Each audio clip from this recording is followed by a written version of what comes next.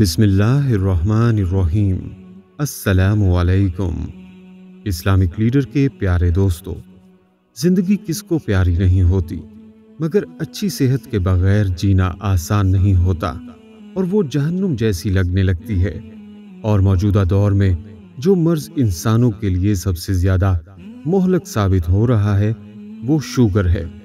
Sugar وہ مرض ہے جو دیمک کی طرح خاموشی سے انسانی جسم کے اندرونی اعضاء کو چاٹ جاتا ہے۔ اور اگر اس کے بارے میں بر وقت معلوم نہ ہو سکے، تو یہ بینائی سے محرومی سے لے کر گردوں کے فیل ہونے اور دیگر لاتعداد طبی مسائل کا سبب بنتا ہے۔ حیرت انگیز طور پر زیابیتس ٹائپ ٹو کے شکار پچیس فیصد افراد کو اس کا شکار ہونے کا علم ہی نہیں ہوتا۔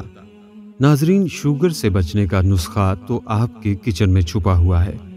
آج کی اس ویڈیو میں کچھ ایسی غذائیں بتائیں گے جو بلڈ شوگر کی سطح کو صحت مند لیول پر لانے میں مددگار ثابت ہوتی ہیں۔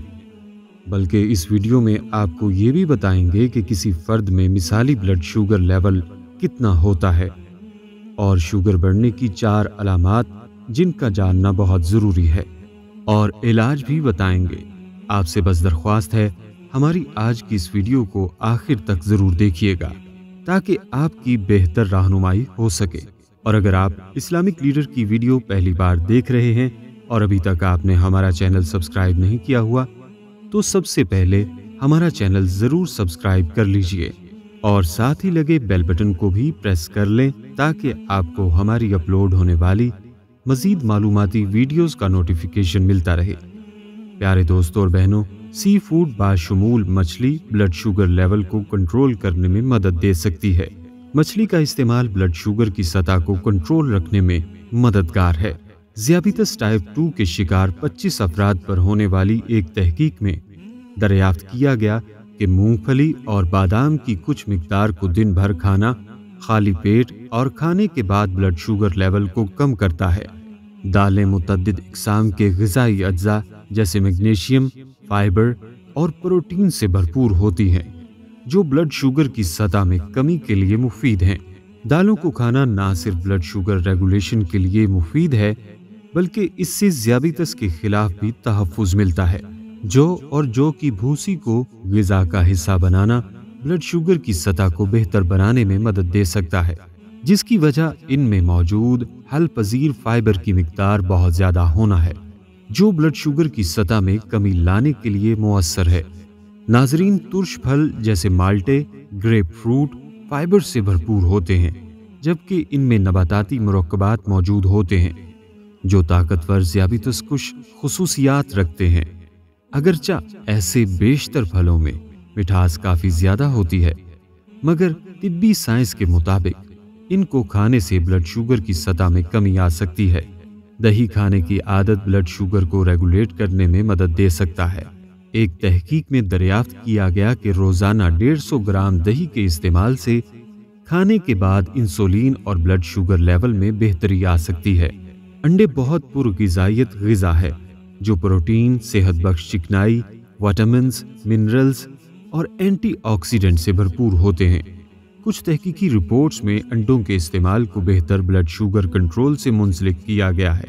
ناظرین، سیب ایسا پھل ہے جس میں حل پذیر فائبر اور نباتاتی مرکبات موجود ہیں اور یہ سب بلڈ شوگر کی سطح میں کمی اور زیابیتس میں تحفظ فراہم کرتے ہیں۔ ایک اور تحقیق میں دریافت کیا گیا کہ چاول کھانے سے تیس منٹ قبل سیب کو جزو بدن بنانا کھانے کے بعد بلڈ شوگر کی سطح کو نمایاں حد تک کم کر سکتا ہے۔ ناظرین، ایک صحت مند فرد کا کھانے سے پہلے سو ایم جی بٹا ڈی ایل اور کھانے کے بعد ستر سے ایک سو چالیس ایم جی بٹا ڈی ایل سے کم ہونا چاہیے۔ اس کے مقابلے میں زیابیتس کے آغاز یا پری ڈائبٹیز کے شکار افراد میں کھانے سے قبل اسی سے ایک سو تیس ایم جی بٹا ڈی ایل اور کھانے سے پہلے ایک سو اسی ایم جی بٹا ڈی ایل ہونا چاہیے تاکہ وہ پیچیدگیوں سے بچ سکیں۔ لوگ اے ون سی ٹیسٹ کے ذریعے تین ماہ کے دوران اوسط بلڈ شوگر لیول کو بھی جان سکتے ہیں۔ مگر یہ ٹیسٹ ڈاکٹر کے مشورے کے بعد ہی کرایا جانا چاہیے۔ یہ بات ذہن میں رکھیں کہ ہر فرد میں دن بھر کے دوران بلڈ شوگر کی سطح میں کمی بیشی آتی ہے۔ عموماً ناشتے سے قبل بلڈ شوگر کی سطح سب سے کم ہوتی ہے، جس میں کھانے کے بعد اضافہ ہوتا ہے۔ جب تک بلڈ شوگر کی سطح جان لیوا حد تک پہنچ جائے اس وقت تک اسے معمول کے مطابق لانا ممکن ہوتا ہے۔ اس مقصد کے لیے چند نکات پر عمل درآمد کیا جا سکتا ہے۔ جیسے کاربوہائیڈریٹس کا استعمال محدود کرنا چاہیے، پانی کا استعمال بڑھانا چاہیے تاکہ اضافی بلڈ شوگر کو خون میں گھلایا جا سکے۔ جسمانی سرگرمیوں کا حصہ بننا چاہیے، جیسے کھانے کے بعد چہل قدمی اور فائبر والی غذاؤں کا زیادہ استعمال کریں۔ ہر وہ شخص جس کی عمر چالیس سال سے زیادہ ہو اسے اپنا ابتدائی بلڈ شوگر چیک اپ کرا لینا چاہیے۔ اگر نتیجہ نارمل آتا ہے، تو ہر ایک سال بعد ایسا کرنا چاہیے۔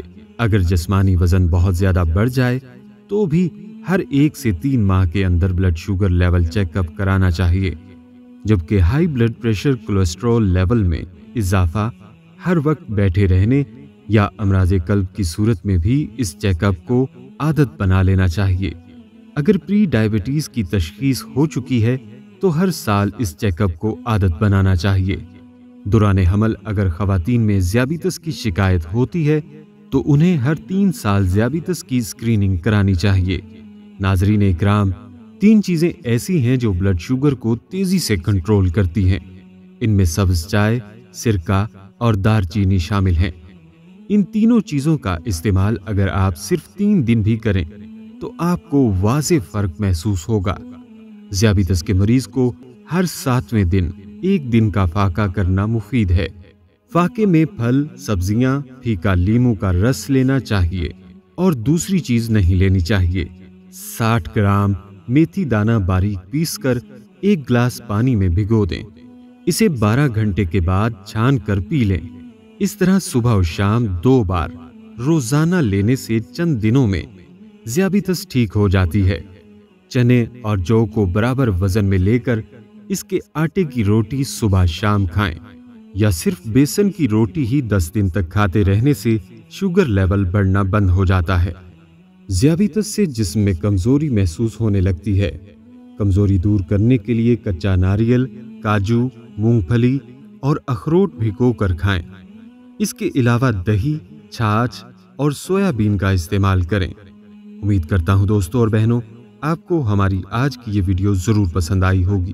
ابھی ہی اس ویڈیو کو دوسروں تک شیئر کیجیے گا، کیونکہ مخلوق خدا کی بے لوس خدمت کا جذبہ آپ کی بگڑی بنا سکتا ہے۔ اور اگر آپ ہمارے چینل اسلامک لیڈر کو سبسکرائب کر چکے ہیں، تو اپنی رائے سے ہمیں کومنٹس کے ذریعے ضرور آگاہ کیجیے گا۔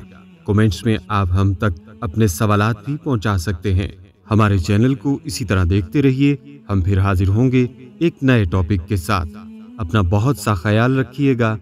السلام علیکم ورحمۃ اللہ وبرکاتہ۔